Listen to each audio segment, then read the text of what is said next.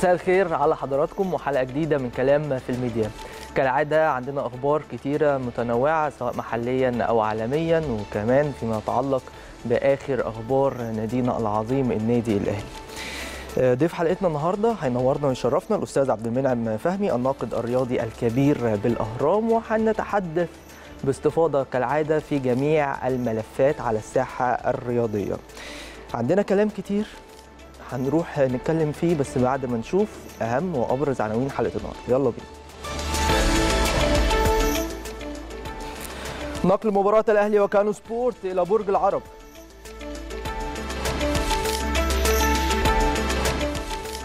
الأهلي يعلن عن الألبوم الرسمي لتوثيق تاريخ النادي.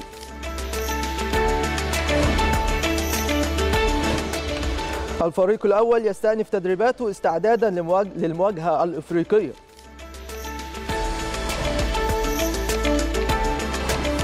عودة أزارو وغياب مروان محسن عن مواجهة الأهلي الإفريقية.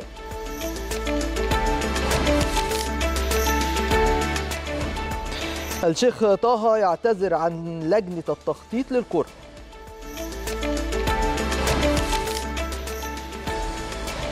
حسام البدري يعلن عن جهازه المعاون بالمنتخب. وتقارير صلاح لن يعتزل دوليا.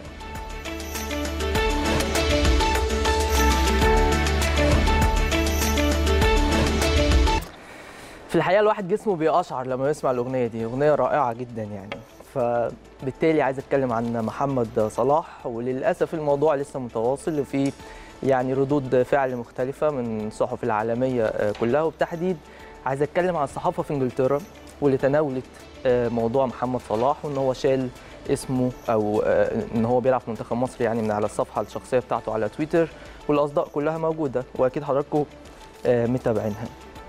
إمبارح اتكلمنا في الجزئية دي وقلنا إن محمد صلاح حقه طبعا إن هو يزعل وكلنا متفقين على كل هذه الجزئية. وبالمناسبة كلنا بندعم وبنساند وبنحب جدا جدا محمد صلاح. لكن في كل الأحوال هو تسرع في رد الفعل. لأن ايا كان إيه اللي حصل؟ ايا كان إيه هو؟ وحقك إن أنت تزعل وكل حاجة لكن ما ينفعش إن إحنا نشيل الصفة بتاعتنا أو التعريف بتاعنا إن إحنا منتميين لمصر أو بنلعب في منتخب مصر. مش عايز أكبر الموضوع قوي في الحقيقة الموضوع بسيط.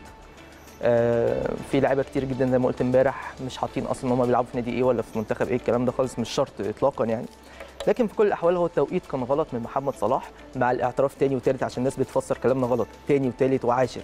إحنا بنحب محمد صلاح جدا وبندعم محمد صلاح وعنده حق يزعل قوي قوي قوي قوي لكن في كل الأحوال هي دي بس الحاجة اللي تؤخذ على محمد صلاح وأعتقد إن هو اتسرع ودليل على كده إن اعترافه إن هو اتسرع في الجزئية دي إن هو نزل تويتاية على طول وقال مهما حاولوا يبعدوا عنا أو الكلام الكلام اللي هو قاله ده يعني إن هو يحب مصر. بيحب ناس مصر وده شيء مفروغ منه في كل الأحوال. لكن الناس كتير اتكلمت على إن كده محمد صلاح بيعتزل اللعب دوليا. وبرده إحنا تناولنا القصة دي امبارح لكن النهارده ردود الأفعال كانت أكبر شوية من الصحافة الإنجليزية ميرور والديلي ميل وكلهم بيتكلموا على الموضوع ده وإن الأصداء في مصر إن الناس متوقعة إن محمد صلاح مش هيلعب تاني مع منتخب مصر. مفيش سبب يمنع محمد صلاح إنه يلعب مع منتخب مصر حتى لو اللي حصل في موضوع التصويت ده. ففي كل الأحوال محمد صلاح هيبقى متواجد في منتخب مصر. هو عايز كده هو حابب كده. الموضوع ما فيهوش نقاش. النقاش حصل ليه؟ بسبب اللي حصل من من, من في الأزمة يعني بالتحديد. لكن أنا عايز أتكلم من منظور تاني وجزئية تانية هل في خطأ إداري عندنا في الاتحاد المصري لكرة القدم؟ كالعادة آه في خطأ إداري كالعادة. المسؤول عن عدم اعتماد أصوات المدرب وكابتن منتخب مصر لازم يتحاسب. لازم يبقى فيه تحقيق. عارفين إن اتحاد الكره اتحاد الكرة أعلن إن هيبقى فيه تحقيق. بس تحقيق المرة دي بقى إيه؟ بجد مش تحقيق كده عناوين في الصحف يعني. لا لازم نحقق. نشوف المتسبب في الأزمة دي إيه. اللي ما خلاش الأصوات بتاعة المصريين تعتمد هناك إيه؟ هنفضل لحد إمتى مجردين من الاحترافية في مصر في الإدارة وفي كل حاجة؟ وأنا بتكلم هنا بالتحديد على إيه؟ على الاتحاد المصري لكرة القدم. سواء بقى اللي كانوا قبل كده موجودين أو اللي قبليهم أو اللي كانوا موجودين بشكل مؤقت الكلام من ده. لو أنت مش عارف اللوائح الخاصة بالفيفا وإزاي يتم ال ال الاعتماد من قبل الفيفا آه، الشروط اللي أنت لازم تنفذها عشان يعتمد آه، أصواتك أو كلام من ده يبقى أحسن لك امشي.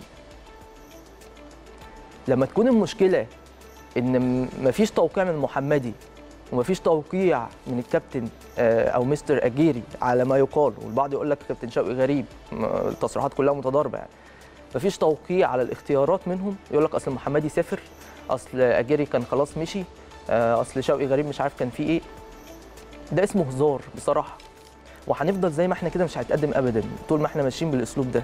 اللي هو إيه خلاص أي حد يمضي يلا مش مشكلة أي حد يمضي والفيفا عادي هتعتمد.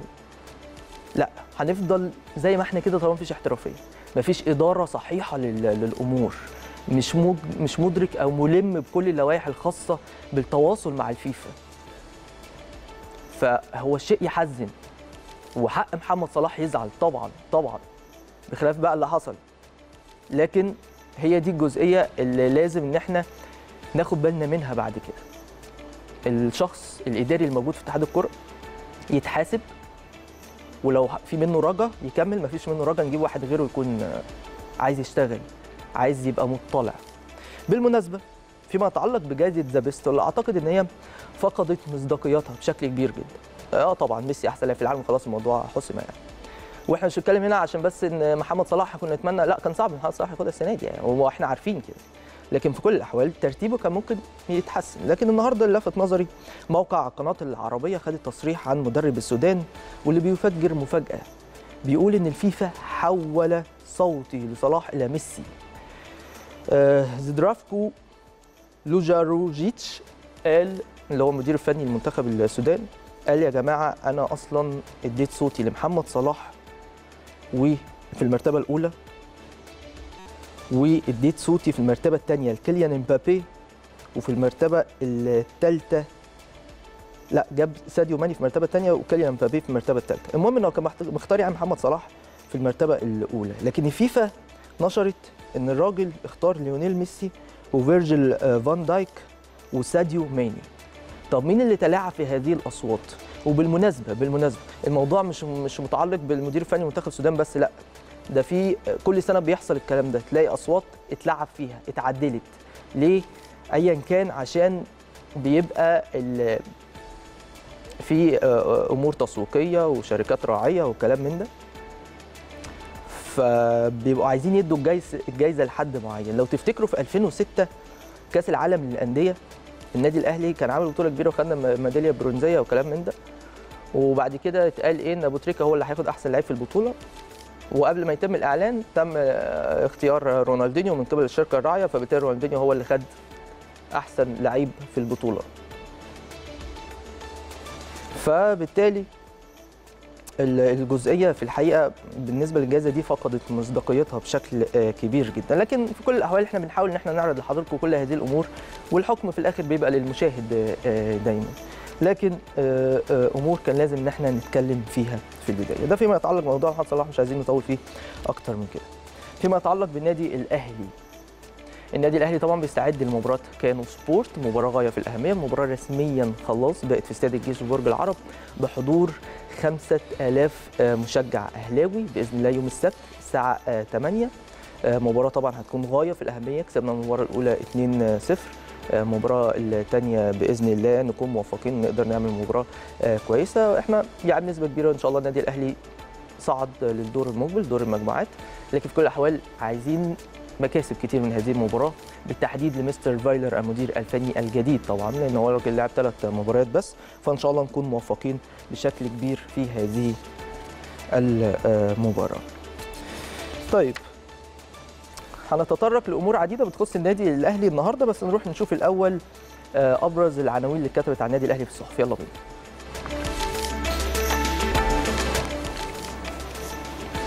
مجلة الأهلي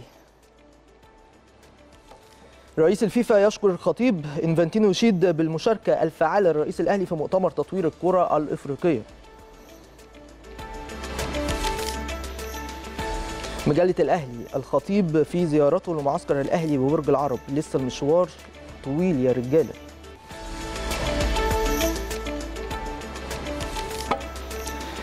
اليوم السابع فايلر يحدد شروط العفو عن صالح جمعة في الأهلي. مؤتمر صحفي للكشف عن الألبوم الرسمي والأحمر يبدأ الاستعداد لكان سبورت.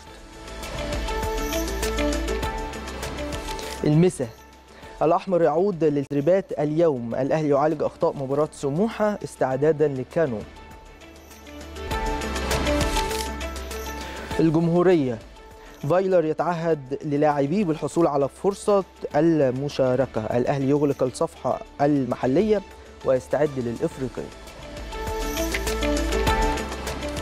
الوفد. اليوم مؤتمر صحفي للإعلان عن مشروع توثيق تاريخ القلعة الحمراء وفايلر يواجه الإصابات بالتدوير. الشروق. مروان محسن يغيب عن الأهلي خمسة أسابيع. اللاعب أجرى جراحة في الوجه والفك العلوي ويشارك بقناع واقي عند عودته للتدريبات. فايلر المقبل أفضل. أسعى لتجهيز جميع اللاعبين فنيا وبدنيا. والفريق يبدأ اليوم استعداداته لبطل غينيا.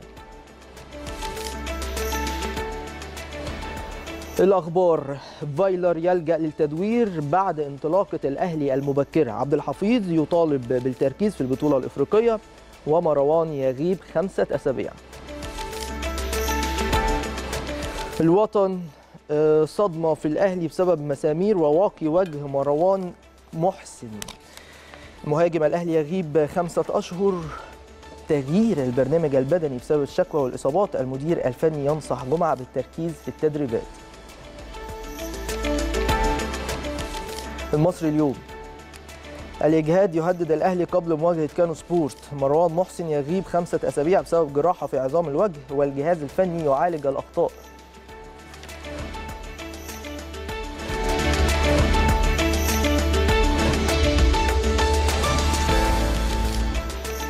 كالعادة في أخبار كتير عن النادي الأهلي في صحف النهارده وبالتحديد فيما يتعلق بالاصابات والغيابات عن النادي الأهلي وكمان فيما يتعلق بالمباراة المقبلة أمام كانو سبورت.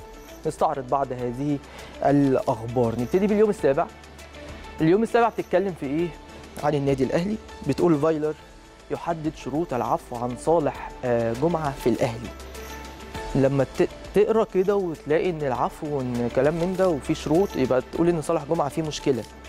وفي الحقيقة وفي الواقع مفيش أي مشكلة بالنسبة لصالح جمعة. الراجل بس مستبعده من المباريات الثلاثة الأولى بالنسبة لفايلر.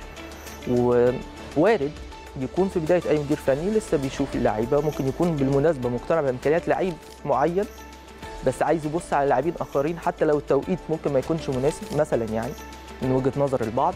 لكن في كل الأحوال هو مفيش أصلا أزمة أو مشكلة عشان يبقى في عفو عن صالح جمعة. بالمناسبة مستر فايلر دايما دايما بيقيم اللاعبين من خلال التدريبات. لو في تأثير من لعيب معين في التدريبات بيقول له اشتغل على نفسك شوية عشان تبقى موجود. لكن الناس بتتكهن بدري قوي بالتحديد فيما يتعلق بالغيابات واستبعاد بعض اللاعبين سواء صالح جمعه أو صلاح محسن أو أليو ديانج أو الكلام من لكن الكلام ده لسه سابق لاوانه هنبتدي نتكلم فيه والناس ممكن تتطرق ليه بعد فترة من الزمن يعني بعد حوالي 6 7 8 ماتشات كده تبتدي تشوف بقى الراجل ده حابب مين مش حابب مين مقتنع بمين مش مقتنع بمين ده كلام طبيعي. لكن أزمة أو عفو وكلام من ده, ده مش موجود. ده فيما يتعلق باليوم السابع. نروح للجمهورية. فايلر يتعهد للاعبيه بالحصول على فرصة المشاركة. ويعني مش منطقي الكلام ده نسبيا يعني من قبل الجمهورية. لأن ما فيش مدير فني بصراحة بيتعهد لحد بيقول له أنا هوعدك إن أنت هتلعب. صدقني أنت هتلعب. لأ هو الراجل بيشوف المعطيات اللي بتظهر له في التدريبات وفي المباريات بالمناسبة. أنت بتختار لعيبة يلعبوا ماتشات لو كويسين هيكملوا بي- بيأدوا المطلوب منهم والواجبات اللي بيطلبها المدير الفني. دول هيفضلوا موجودين هيعتمد عليهم بشكل آه، كبير جدا. لكن لو حد بيأثر هيتم استبعاده لكن موضوع الوعود ده أعتقد مش موجود في العصر اللي إحنا فيه العصر الاحترافي ده. وهنشوف خلال الفترة اللي جاية. الأهلي يغلق الصفحة المحلية ويستعد للإفريقية. طبعا كالعادة النادي الأهلي بيطوي أي صفحة سابقة وبيركز في اللي جاي على طول. اللي جاي طبعا دور 32 وإياب هذا الدور من بطولة دوري أبطال أفريقيا مع فريق كانو سبورت. نروح للشروق. مروان محسن يغيب عن الأهلي خمسة أسابيع. طبعا امبارح مروان محسن عمل جراحة في الوجه بسبب كسر في عظام الوجه وأعلى فك آه، الفم كده يعني. واللاعب أجرى جراحة في آه، زي ما قلنا لحضراتكم. ويشارك بقناع آه، واقن. ده بعد ما يرجع إن شاء الله للتدريبات. فايلر بيتكلم على إن اللي جاي هو اللي هيكون أفضل بإذن الله وإن هو بيحاول يجهز جميع اللاعبين فنيا وبدنيا وده شيء مفروغ منه. وهو قال كده كمان في مؤتمر الصحفي بعد آه، مباراة سموحة آه، والفريق يبدأ اليوم استعداداته البطرمانيه وإحنا عارفين النهارده الفريق ابتدى تدريباته بالتحديد من ساعة وثلث كده. الأهلي ابتدى استعداداته لمباراة كانو سبورت يوم السبت بإذن الله على استاد الجيش العرب الساعة 8 مش 9 8 نروح للوطن. وبيبقى دايما في كلمات كده كبيرة قوي. بيقول لك إيه؟ صدمة في الأهلي بسبب مسامير وواقي وجه مروان محسن. مهاجم الفريق يغيب كام بقى هنا؟ قال لك خمس شهور. يا ده كتير جدا يعني بصراحة. خمس شهور يعني غلط اطلاقا يعني. وعلى فكرة بالمناسبة في متن الخبر بيقول لك إيه؟ بيقول لك إن مدة الغياب ستتحدد بعد إزالة المسامير. طب إحنا ليه بنقول خمس شهور؟ طب ما حضراتكم عارفين مع كامل الاحترام والتقدير إن مدة الغياب هتتحدد بعد آه، آه، إزالة المسامير وكلام من ده. بنكتب أمور ملفتة شوية عشان الناس ممكن تكون تقرأ. يعني الجرايد أو نبقى ملفتين بشكل أو بآخر وخصوصا لما يكون حاجة بتتعلق بالنادي الأهلي. لكن خمس شهور ده كتير جدا. مروان بالمناسبة بالكتير قوي هيبقى موضوع شهرين. المعلن من شهر لشهر ونص قد يمتد لشهرين مش أكتر من كده بإذن الله يعني. هو عامل عمليه ونتمنى له طبعا العودة آه، سريعا. تغيير البرنامج البدني بسبب الشكوى والإصابات مش حقيقي. بدل بقى بنتكلم كتير ونقع لا مش حقيقي الكلام ده مفيش تغيير مفيش شكوى أصلا من الإصابات أو من البرنامج البدني. بالمناسبة يا جماعة كل واحد في النادي الأهلي عارف دوره. يعني مفيش لعيبة تقول لك لا أنت كده عامل تدريبات بدنية قوية قوي ما مش قادر لا إحنا بنشتكي وكلام كلام مش منطقي اطلاقا بصراحة يعني. حاجة غريبة. المدير الفني آه، ينصح جمعة بالتركيز في التدريبات. اللي هيركز في التدريبات الفترة الجاية هو اللي هيكون متواجد بكل تأكيد مع مستر آه، فايلر وده شيء بديهي برضه يعني. اللي هيبقى شادد حلو في التدريبات هو اللي هيكون موجود. مش مش خبر يعني. طيب دي كانت أخبار الأهلي في الصحف. أخبار الأهلي في المواقع إيه؟ يلا بينا.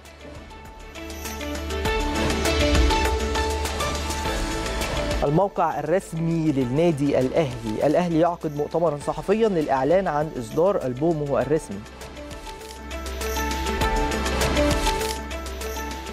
الموقع الرسمي للأهلي. مرجان ألبوم الأهلي الرسمي جسر للتواصل مع الجماهير.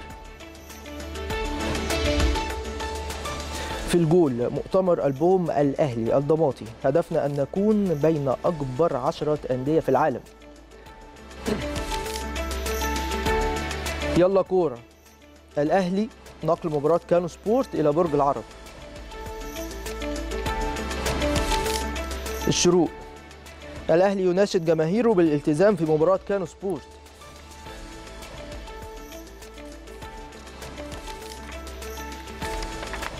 الموقع الرسمي للأهلي. فايلر يبحث مع معاونيه ترتيبات مواجهة كانو سبورت. فيتو. تغييرات منتظرة في تشكيل الأهلي أمام كانو سبورت. اليوم السابع الأهلي يستعيد أزارو أمام كانو سبورت في إياب دور ال 32 الإفريقي. سوبر كورة.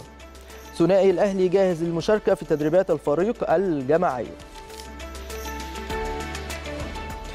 الوطن سبورت. قمصان السوبر ومباراة سموحة دفعة معنوية لانطلاقة قوية أفريقيا الموقع الرسمي للنادي الأهلي. الشيخ طه يعتذر عن لجنة التخطيط للكرة بسبب التعارض مع تحليل مباريات الأهلي.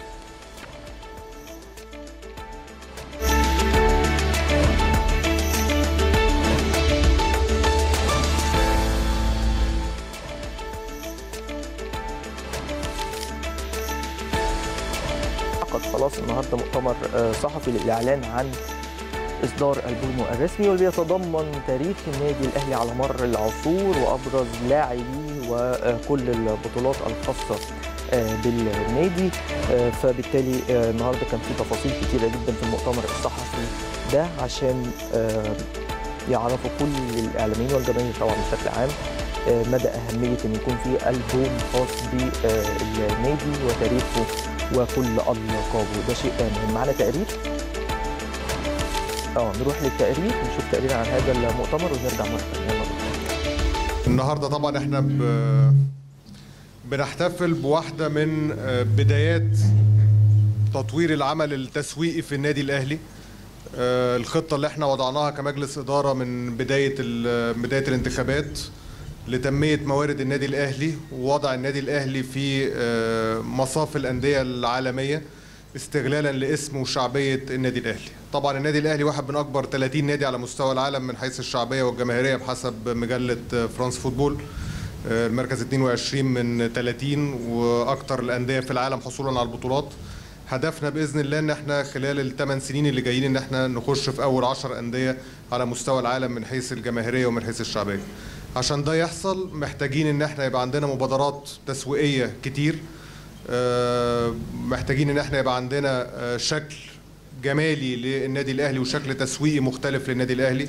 وده الحمد لله اللي قدرنا آه، نبدأ فيه بفضل مجهودات إدارة التسويق اللي النهارده بتعلن عن واحد من أوائل هذه المشاريع وهو ألبوم النادي الأهلي اللي هيبقى بإذن الله آه، نقلة جديدة في السوق المصري وفي الشرق الأوسط وحاجة تضاهي الموجود في الأندية العالمية. نتمنى بإذن الله التوفيق ونتمنى أنه يلاقي آه، قبول ورضا جماهير النادي الأهلي ويبقى آه، يعني زي ما بيقولوا جسر ما بين الجمهور وما بين ما بين النادي الأهلي وإن هم يقبلوا على الألبوم ويبقى آه، في آه، إقبال عليه ومبيعات جيدة بإذن الله. ونشكر الشركة المنفذة لل- للألبوم على المجهود الكبير اللي هم عملوه في الفترة اللي فاتت الأفكار وال والتنفيذ بتاعهم وإن شاء الله ربنا يوفقهم في اللي جاي بإذن الله. شكرا جزيلا. السلام عليكم جميعا. آه، في البداية حابب أرحب بحضراتكم طبعا لحضور ال- المؤتمر. واستاذنكم إن أنا هبدأ إن شاء الله بتوجيه بعض رسائل الشكر في البداية طبعا لمجلس إدارة النادي الأهلي لثقته فينا وطبعا برئاسة الكابتن محمود الخطيب إن هم ادونا الفرصة إن إحنا نعمل حاجة ولو بسيطة لأمور النادي الأهلي. آه، فكرة الألبوم الحقيقة نشأت إن إحنا كنا عايزين نعمل حاجة آه، لنادي الأهلي مختلفة آه، كان عندنا أفكار مختلفة ب ب لتقديمها للنادي الأهلي إلى أن استقر ال- ال- الرأي على عمل الألبوم الخاص بالنادي. يمكن الأندية العالمية بتعمل ألبوم بصورة تقليدية نوعا ما إن هو بيكون فيها ال- اللعيبة الحاليين ونبذة عن كل لعيب وخلاص. إحنا الحقيقة بما إن إحنا بنتكلم عن النادي الأهلي آه، نادي من أعرق الأندية على مستوى العالم فحبينا إن إحنا نتناول التاريخ بتاع النادي الأهلي بصورة مختلفة بداية من نشأة النادي الأهلي وصولا للوقت اللي إحنا فيه. والحقيقة ال- التعاون اللي إحنا لمسناه من إدارة التسويق أو المركز الإعلامي الحقيقة كانوا بيطمعونا يوم بعد يوم إن إحنا نبدع ونطلع أحسن حاجة ممكنة آه، لجماهير النادي الأهلي. وده يمكن إن شاء الله حضراتكم هتشوفوه في الألبوم إن إحنا تناولنا تاريخ النادي الأهلي بصور مختلفة بدءا من تأسيس النادي الأهلي رموز النادي الأهلي رؤساء النادي الأهلي الأجيال الذهبية اللي في النادي الأهلي بداية من أول فريق اتأسس سنة 1911 إلى وقتنا هذا بالإضافة لأقسام تانية مختلفة ليها علاقة بالجمهور وليها علاقة بإنجازات النادي الأهلي المختلفة. في النهاية الحقيقة حابب أشكر فريق العمل اللي معانا اللي تعب من تحرير ومن إدارة ومن تصميم عشان يطلعوا الكلام ده اللي الحقيقة يعني اشتغلوا ليل نهار خلال الفترة اللي فاتت كلها علشان يطلعوا لحضراتكم حاجة تليق باسم النادي الأهلي. وحابب برضو أهني جماهير النادي الأهلي على الألبوم إن هو أول إصدار. وزي ما تفضل الأستاذ محمد مشكورا إن تاريخ النادي الأهلي آه، مليء بالرموز ومليء بالنجوم اللي صعب إن إحنا نختزلهم في في في موسم واحد. وبالتالي إن شاء الله المواسم اللي جاية هتكون مكملة ليه عشان نتناول تاريخ النادي الأهلي بصورة آه، أكتر يعني فيها آه، يعني أفكار مختلفة عن الفكرة دي. آه، مرة تانية بشكر حضراتكم وإن شاء الله الألبوم ينال رضا لحضراتكم وإن شاء الله هيكون متوفر خلال الأسبوع الجاي لكل بيت أهلاوي في مصر. شكرا جزيلا ويا رب إن شاء الله الألبوم يكون. شكرا جزيلا. طبعا أنا برحب بالضيوف ولازم قبل ما أبدأ كلمتي الغرض من الألبوم زي ما إحنا قلنا إزاي الأجيال اللي موجودة دلوقتي تقدر توصل وتتواصل مع رموز النادي الأهلي وتاريخ النادي الأهلي. فقبل ما أبدأ أي كلمة لازم نحيي الرموز اللي النهارده موجودة معانا كابتن شطة. كابتن إبراهيم عبد الصمد. كابتن فتحي مبروك. كابتن أسامة عرابي. كابتن محمد حشيش. كابتن ضياء السيد. الكابتن عصام رياض والكابتن هشام حنفي. طبعا النادي الأهلي مليء بالرموز ومليء بالنجوم وما يعني لكن هم شرفونا النهارده وأكيد هو ده كان الغرض من الألبوم. عايز أوجه الشكر طبعا لمجلس إدارة النادي الأهلي برئاسة الكابتن محمود الخطيب زي ما الاستاذ محمد ضماطي عضو مجلس الاداره قال وزي ما مصطفى قال لو تتصوروا فرحة فريق العمل ال- ال- اللي كانت على يعني موجودة فيهم والإحساس اللي هم حسوه اللي فعلا الألبوم ده هيبدأ يظهر ال- الفريق العمل ده اشتغل وبذل مجهود جامد جدا جدا سواء ال- الشركة المنفذة وبشكر شركة برزنتيشن طبعا وسواء إدارة التسويق اللي عندنا بقيادة يعني أخونا ال- الصغير الشاب المتحرك دايما آه، كابتن أمير توفيق. والدكتور سعد شلبي المستشار التسويق بذلوا مجهود غير عادي بالتنسيق مع المركز الإعلامي الاستاذ جمال جبر طبعا عشان خاطر النهارده نبقى واقفين وبنعلن عن أول ألبوم للنادي الأهلي. طبعا النادي الأهلي دايما سباق والنادي الأهلي دايما معودنا اللي هو دايما في خطوات دايما بنسبق بيها كل ال ال ال ال الأندية أو كل الوسط الرياضي وهو ده دور النادي الأهلي. يمكن النادي الأهلي كان أول نادي يمتلك قناة على آه، مستوى الشرق الأوسط للأندية كلها 2007 النهارده النادي الأهلي اول نادي بيطلق ألبومه عشان خاطر يحافظ على تاريخه ويحافظ على رموزه إسوة بالأندية العالمية. برضو لازم أنا كإدارة تنفيذية هقول الفترة اللي فاتت الحمد لله النادي الأهلي برضو يعني كان سباق في مجموعة إنشاءات اتعملت على خلال ال- ال- الفروع اللي موجودة منطقة ال food court اللي هي أعلى. وعلى مستوى في مناطق ال- ال food court المعمولة في الأندية منطقة ترفيهية أو النادي برضو أصبح عنده حمام سباحة الأمواج ده مش موجود في الشرق الأوسط فدايما النادي الأهلي سباق. اللي أنا عايز أقوله مجلس إدارة النادي الأهلي والإدارة التنفيذية وكل العاملين في النادي الأهلي بيشتغلوا في هدوء بيشتغلوا في صمت بيتحركوا لصالح النادي الأهلي بيتحركوا لصالح بلدهم بيتحركوا لصالح الرياضة المصرية بشكل عام. أتمنى التوفيق إن شاء الله بإذن الله. بشكر شركة برزنتيشن تاني الراعي والشريك الأساسي معانا في النادي الأهلي وبتمنى دايما مزيد من التفوق الفترة اللي جاية إن شاء الله بإذن الله. شكرا. طيب ده كان تقرير لتقديم المؤتمر الصحفي الخاص بإعلان عن ألبوم النادي الأهلي الرسمي واللي بيتضمن عدد كبير جدا من الأمور التاريخية ورموز الفريق ورموز النادي بشكل عام والبطولات وكل هذه الأمور وحاجة في الحقيقة مميزة ومهمة. نروح لخبر تاني. يلا كرة.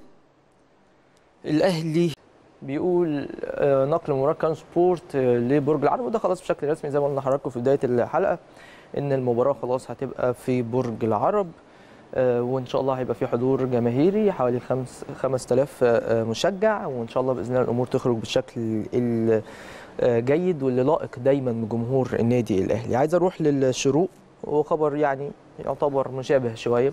الأهلي يناشد جماهيره بالالتزام في مباراة كانو سبورت. دايما جمهور النادي الأهلي بيبقى ملتزم. لما بتحصل حاجات بتبقى حاجات بسيطة يعني لكن في كل الأحوال إن شاء الله يكونوا ملتزمين خلال الفترة الجاية لأن إحنا دايما دايما محتاجين أو النادي دايما محتاج جمهور النادي آه، الأهلي لأنه بيبقى السند الأساسي في الفوز بأي مباراة وأي بطولة طبعا. عايزين نقرب بقى للصورة بشكل أكبر في آه، أو بخصوص مران النادي الأهلي النهارده واستئنافه لهذه التدريبات. عشان كده معايا على الهاتف آه، شريف شعبان مراسل قناة الأهلي. يا شريف مساء الخير عليك. حضرتك يا زميل أمير. تحياتي ليك وتحياتي لكل مشاهدي قناة النادي الأهلي. يمكن زي ما اتفضلت وقلت يمكن تمرين النادي الأهلي بعد إجازة يمكن استمرت حوالي 24 ساعة استعدادا لمباراه كان سبورت بطل غينيا يوم السبت المقبل بإذن الله ببرج العرب. خليني أقول لك إن أعضاء النادي الأهلي استقبلوا آه، لاعبي النادي الأهلي في التمرين بالتصفيق الحار وبالهتاف اهم اهم أبطال السوبر هم أفريقيا يا أهلي واجب علينا. انقل لك واجب علينا انقل لك الصورة اللي استقبلوا بيها فريق النادي الأهلي النهارده في أول تمرين ليهم بعد الحصول طبعا على بطولة السوبر والفوز في أول مباراة بالدوري ممتاز مباراة سموحه. يمكن قبل بداية المران كان في جلسة تصوير للاعبي النادي الأهلي آه، بالزي الجديد اللي هيرى النور قريبا بإذن الله. آه، مستر فايلر وباقي الجهاز يمكن كانوا حريصين يعملوا محاضرة مع لاعبي النادي الأهلي حوالي خمس دقائق في الملعب يتكلموا فيها عن الإغلاق التام للملف المحلي والتركيز فقط في آه، مباراة أفريقيا التركيز فقط في الفوز على مباراة كان سبورت. تقديم عرض مشرف آه، الراجل حذر من خطورة الفريق. حذر إن الفريق هيظهر بشكل مختلف زي ما ظهر في المباراة الأولى لأن كان مضغوط في وسط ملعبه وفي جماهيره. كان مخطوط من اسم النادي الأهلي. مباراة العودة الوضع هيختلف خالص. مباراة بجماهير هيبقى الضغط علينا إحنا مش عليهم هم. فلازم الحذر من فريق كانوا سبورت والتركيز وطلبهم بالفوز. خليني أقول لك يمكن الاجتماع اللي استمر حوالي خمس دقائق من بعده كان في تدريبات بدنية والخبر المفرح لجماهير النادي الأهلي آه، ازارو في التمرين محمد محمود في التمرين سعد سمير في التمرين. بشكل كامل يا شريف بشكل كامل التدريبات كلها. يمكن آه بشكل كامل عالمي يمكن ازارو في ال- في التقسيمة الأخيرة ازارو بيشارك فيها. يمكن محمد محمود وسعد سمير مع باقي المجموعة اللي لعبت مباراة سموحه الأخيرة. يمكن معاهم التمرين لسه ما دخلوش في التقسيمة. ولكن مكملين التمرين إلى الآن. يمكن بتتكلم الساعة 6:30 بقى لنا ساعة ونص في التمرين. لسه سعد سمير ومحمد محمود مستمرين في شاركوا في. كل فقرات التمرين في عدا التقسيمة. آه في بعض التقسيمة ولكن أزارو يمكن امامي الآن بدأ يخش في ال- التقسيمة يمكن كويس. يمكن أزارو من هذه التمرينة يمكن بيعلن جاهزيته لمباراة كويس يمكن جدا. سعد سمير ومحمد محمود من رؤيتي ممكن يبقى ليهم جانب من المباراه أو إلى ما بعد المباراة. مم. خليني أقول لك تدريب الحراس يمكن النهارده خمس حراس الشناوي شريف اكرامي علي لطفي مصطفى شوبير أحمد طارق خمس حراس تمرينه ولا أروع ولا أقوى. يمكن مع مدرب الحراس تمرينه قوية جدا وخمس حراس كتير في التمرين. وراجل راجل بيمرنهم بكل سلاسة وبكل هدوء وعاملين تمرينة قوية آه، جدا. كابتن سيد عبد الحفيظ آه، نفى إن النادي الأهلي يكون طلب نقل مباراة الإنتاج الحربي إلى برج العرب. وقال لسه بدري يا جماعة الكلام ده ملوش أي صحة من الأساس. ده فيما يتعلق بمباراة الإنتاج. آه مباراة الإنتاج. آه. إحنا مرحبين طالما الامن قال نلعب مباراة آه، تنس بورد برج العرب. تعظيم سلام. مفيش مشاكل خالص هنسافر نلعب مباراة هناك ولكن مباراة الإنتاج الحربي ما طلبناش اللي هي تتأجل أو تتنقل لبرج العرب. مفيش الكلام ده خالص. المباراة زي ما هي في استاد السلام. خليني أقول لك إن مروان محسن يمكن هيظهر بعد ثلاث أو أربع أسابيع بإذن الله بالقناع اللي هو صلاح محسن. صلاح محسن. آه مروان مش صلاح. مروان صح؟ مروان آه، آه. مروان محسن. محسن ما شاء الله متالق في التمرين آه ما شاء يعني الله. آه مروان محسن هيظهر بعد ثلاث أربع أسابيع بإذن الله بوقاء أو بقناع علشان خاطر يحافظ على وجهه. يمكن محمود متولي وكريم نتفت ما زالوا في التمرينات التاهيليه يمكن كريم بتتكلم من آه، أسبوعين ثلاثة بإذن الله. محمود متولي من ثلاثة لاربعه يعني بتتكلم بإذن الله في شهر بإذن الله يكون النادي الأهلي يا رب يا رب خالي من. الإصابات. النهارده مستر فايلر كان حريص يعقد جلسة مع قعد سمير حوالي ثلاث أربع دقائق في الملعب يتكلم فيها عن آه، جاهزيته في الفترة المقبلة إيه ال- ال- الفترة اللي وصل لها بدنيا الفترة السابقة بيطمئن عليه لأن يبدو إنه هيعتمد عليه الفترة المقبلة. يمكن دي كانت أبرز كواليس آه، تمرين النادي الأهلي اليوم اللي بيستعدوا طبعا لمباراة كانو سبورت يوم السبت بإذن الله على ملعب الجيش في برج العرب. نتمنى بإذن الله يكون الفوز حليف النادي الأهلي. واطمنك وبطمن كل جماهير النادي الأهلي. تمرين مبشر تمرين قوي جدا. لاعبي النادي الأهلي بينفذوا تعليمات بحذافيرها زي ما الجهاز الفني بيقول. يمكن أمامي الآن يمكن مستر فايلر عمل لهم اجتماع بعد تقسيمة يمكن خلاص. وبدأوا يعملوا ال- الإطالات الأخيرة.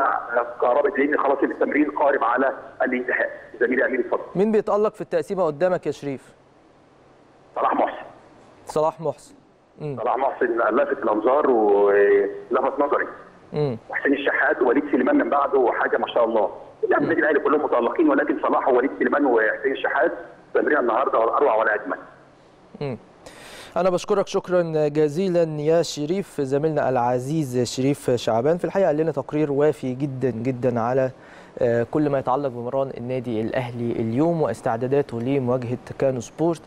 يوم السبت إن شاء الله بإذن الله. والأهم ما آه، قاله آه، شريف شعبان هو كلام مستر فايلر مع اللاعبين آه، بيتكلم في قدرات وإمكانيات آه، فريق كانو سبورت وإن إحنا مش عايزين نستقل أو إن إحنا نستهتر بهذا الفريق بعد ما كسبنا 2-0 بره أرضنا لا برضه لازم ناخد المباراه بجدية. ودي سمه طبعا معروفة عن النادي الأهلي. من ضمن الأخبار المفرحة طبعا اللي قالها لنا شريف النهارده وفيما يتعلق بعودة المصابين. وليد أزارو جاهز للمواجهة المقبلة بشكل كامل وبيشارك في التقسيمة حتى هيشارك في التدريبات كلها بما فيها التقسيمة الأخيرة اللي بتجرى في هذه اللحظات وأنا بتكلم معاكم.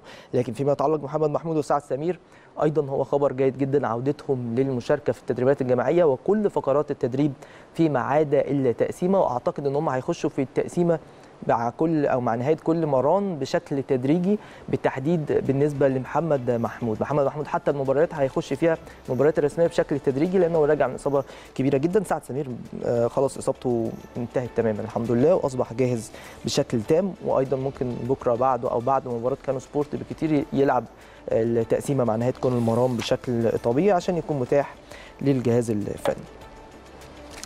طيب نروح آه، لخبر آخر من فيتو. بتقول تغييرات منتظرة في تشكيل الأهلي أمام كانو سبورت. آه، ده شيء متوقع آه، لأن أنت هيبقى عندك حسابات مختلفة واستراتيجية مختلفة هتلعب بيها هذه المباراة خصوصا في ظل إن أنت فرصك كبيرة جدا للصعود فالمباراة بالنسبة لك ما فيهاش ضغط عصبي ونفسي آه، بشكل كبير بعد النتيجة في مباراة الذهاب. فأكيد ممكن يكون في بعض التعديلات في التشكيل خصوصا كمان إن إحنا الثلاث مباريات مع مستر فايلر شفنا تعديلات في الثلاث مباريات بخصوص التشكيل. والواضح إن الراجل بيدرس الفريق اللي قدامه بشكل مناسب جدا وبشكل جيد وبناء على هذه الدراسة بيتم اختيار العناصر الأنسب لكل آه، مباراة. فأكيد ممكن يكون في آه، تغييرات في التشكيل. اليوم السابع الأهلي يستعيد أزارو. أزارو هيبقى موجود طبعا في المباراة المقبله حتى ما شارك- ما شاركش أساسي لكن هو هيكون موجود في قائمة هذه المباراة. وهتبقى فرصة لعدد كبير من اللاعبين إن هم يشاركوا ويثبتوا تواجدهم مع وضع في الاعتبار أهمية المباراة حتى لو إحنا نتيجتنا كويسة لكن لازم دايما كل مباراة ناخدها اتكلمنا على سعد سمير ومحمد محمود آه، خلاص. ودي كانت تعتبر أهم وأبرز أخبار الأهلي في المواقع. الأخبار المحلية والعالمية إيه؟ نروح نشوف.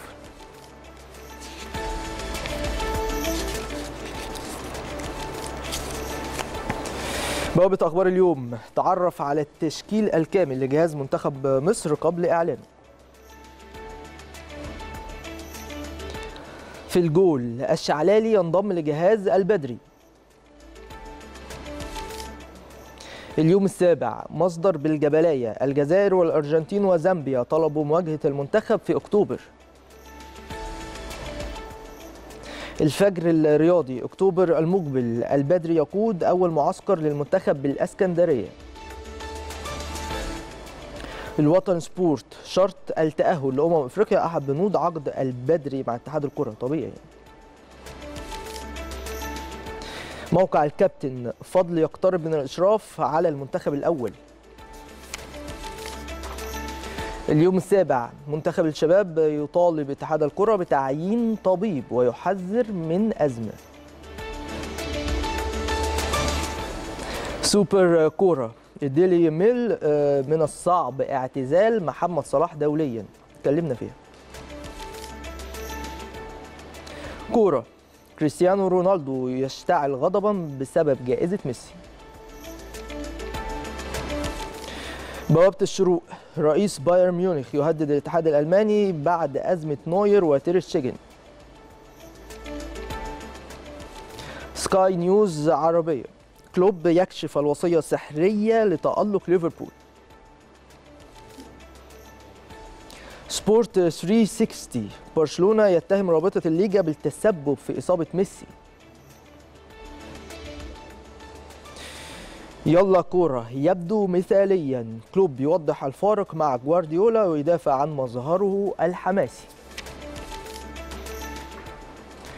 سكاي آه، نيوز عربية. تشيلسي يعاني ونجمه الإيطالي يغيب حتى منتصف أكتوبر.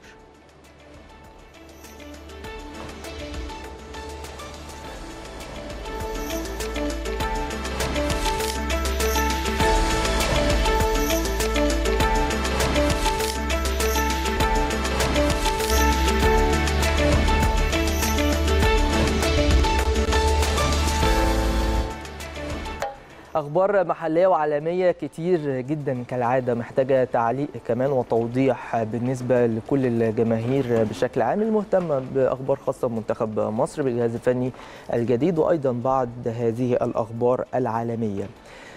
التوضيح والتعليق هيكون بعد الفاصل مع ضيفنا العزيز واللي دايما بكون سعيد بتواجده معايا الأستاذ عبد المنعم فهمي الناقد الرياضي بالأهرام وهنستفيض في الحديث عن كل هذه الأمور والملفات. استنونا بعد الفاصل.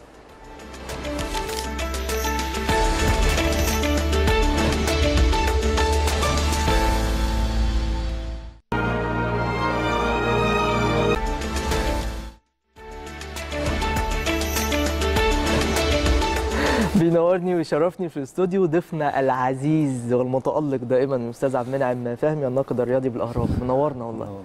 نورك والله. أخبارك إيه؟ أخبار حضرتك إيه؟ تمام؟ تمام. الحمد لله. تضحك عليا انت عارف. طيب إحنا كالعادة هنفتح كل الملفات على الساحة الرياضية المصرية. لأن إحنا يا جماعة أه إحنا قناه الأهلي وكل حاجة بس إحنا مش معزولين عن العالم. فلازم يتم تناول كل ما يحدث على الساحة الرياضية المصرية بشكل طبيعي. إحنا قناة فئوية متخصصة بالنادي الأهلي لكن في نفس الوقت مش مش خارج مصر. يعني في أي أمور رياضية بتحصل أي أخبار أي أحداث لازم نتناقش فيها مع جمهور النادي الأهلي العزيز والجمهور المصري بشكل عام اللي بيتابعنا بكل تأكيد. بالتالي يا أستاذ المنعم أزمة محمد صلاح آه، أزمة كبيرة والموضوع امبارح آه، كبر جدا ومحمد صلاح شال التعريف بتاعه إن هو لعيب في منتخب مصر بالمناسبة بالمناسبة لأن في البعض تقريبا بيفهم الكلام بطريقة خاطئة أو زي ما هو نفسه يفهمه. أنا أو إحنا ما بنهاجمش محمد صلاح. إحنا بنناقش القضية. حضراتكم اللي تحكموا مين أخطأ ومين ما أخطأش. لكن اللي واضح جدا جدا إن المسؤولين في الاتحاد المصري لكرة القدم واللي أرسلوا أصوات المصريين بالتحديد المدرب والكابتن الفريق هم اللي أخطأوا. وحق صلاح جدا جدا إنه يزعل. إحنا بنتكلم بنقد مش على صلاح على المسؤولين في الاتحاد المصري لكرة القدم وفي نفس الوقت في نفس الوقت بعض التصرفات الخفيفة اللي ممكن أي لعيب يتصرفها حتى لو كان هو محمد صلاح. وبالمناسبة إحنا أول ناس دافعنا عن محمد صلاح. لو تفتكروا حضراتكم أيام كأس الأمم والبعض قال لك ليه بتدافع عن محمد صلاح؟ لكن إحنا النهارده بنقول إن محمد أخطأ في جزئية بسيطة. ايا كان إيه اللي حصل ما ينفعش إن أنا أشيل التعريف بتاعي على تويتر. في كل الأحوال بنحب محمد وبندعم محمد آه، صلاح وهنفضل وراه ونتمنى إن هو دايما يفرحنا وبإذن الله يا رب بإذن الله هياخد أحسن لاعب في العالم في يوم من الأيام معلش كان لازم كلامك آه، مظبوط معظمه مظبوط بس أنا متحفظ في كلمة إرسال آه. هو لو تم الإرسال بالفعل الأصوات راحت فين يعني لو تم غلط. إيه التوقيع ما كانش موجود من آه، محمدي ومن أجيري أو من طيب. هقول لك أنا على مفاجأة ممكن الناس تكون. عارفاها أو مش عارفاها. الله أعلم إمبارح آه، استطلعنا رأي ايهاب لهيطة اللي هو مدير المنتخب السابق مم. فقال إن اللي وقع أو اللي اللي صوت لمحمد صلاح أجري وأحمد المحمد حلو بعدها بنص ساعة طلع بيان من اتحاد الكورة اتقال فيه إن اللي وقع أو اللي صوت محمد. صلاح شوقي غريب على اعتبار إنه ما كانش فيه أجري مم. وأحمد المحمدي. طب يا جماعة نفهم هل جم أربع استمارات مثلا لاتحاد كرة القدم. واثنين وقعوا واثنين وقعوا. ولا حد تزاكى وصور الورقة مثلا زي ما بيحصل عندنا في الفهلوة المصرية صور الورقة بقى عندنا أربع ورقات ممكن نصوت. طب لو هم أربع ورقات ما يبقوش لي ستة وما يبقاش لي ثمانيه وكل الناس تصوت بقى وتدي أصوات كتير لمحمد صلاح بالفهلوة بتاعتنا. كلام فيه مش كلام مش يعني متناسق. مش عارف كلام غريب. وفي النهاية مين الخسران؟ إحنا مش محمد صلاح بس. طبعا طبعا. يعني الناس بتقول محمد صلاح الخسران لا مش محمد صلاح. إحنا كمصريين خسرانين. إن محمد صلاح المفروض مثلا بدل ما يبقى رابع يبقى ثالث. ويبقى لما يبقى رونالدو الرابع تبقى دي حاجة فخر طبعاً، كبير ليك إنك. أنت تسبق رونالدو أو تسبق أي حد من الناس العالميين. لكن اللي حصل حصل زي ما أنت قلت حضرتك إن هو الخطأ الوحيد بالنسبة لمحمد صلاح هو خطأ إن هو يشيل إن هو لاعب في منتخب مصر. فبالتالي دي دي كبيرة بصراحة. أعتقد الخطأ باعترافه يا أستاذ عبد المنعم لما نزل التويت اللي بعديها ما هو بص ما هو ما ينفعش محمد صلاح يخطئ خطأ زي ده. مم. لأن محمد صلاح قيمة وقامة. محمد صلاح مؤسسة وطنية مصرية. لما تيجي مؤسسة وطنية مصرية تتخلى عن مصريتها لا لازم نقف. مم. أنت يا عم الحاج مشكلتك مع مين؟ مع منتخب مصر ولا مع القائمين على إدارة الكرة المصرية؟ بالظبط. مع القائمين على إدارة الكرة المصرية. فبالتالي لا تحذف اسم مصر. خلي مشكلتك موجودة بس أساس أساس مشكلتك أو أساس حلها أو أساس أزمتها الأساسية موجودة فين؟ مع اتحاد كرة القدم. اتحاد كرة القدم طلع وقال لك إحنا أرسلنا. طيب ما حاجة سهلة جدا. وضح لنا رسالة إزاي؟ طلع لنا الإيميل اللي أنت بعت منه صح؟ وفين بالظبط الإيميل؟ فين هو وريهولنا مم. ورينا يا سيدي ال- ال- السنت اللي أنت بعته أو السند اللي أنت بعته هو فين؟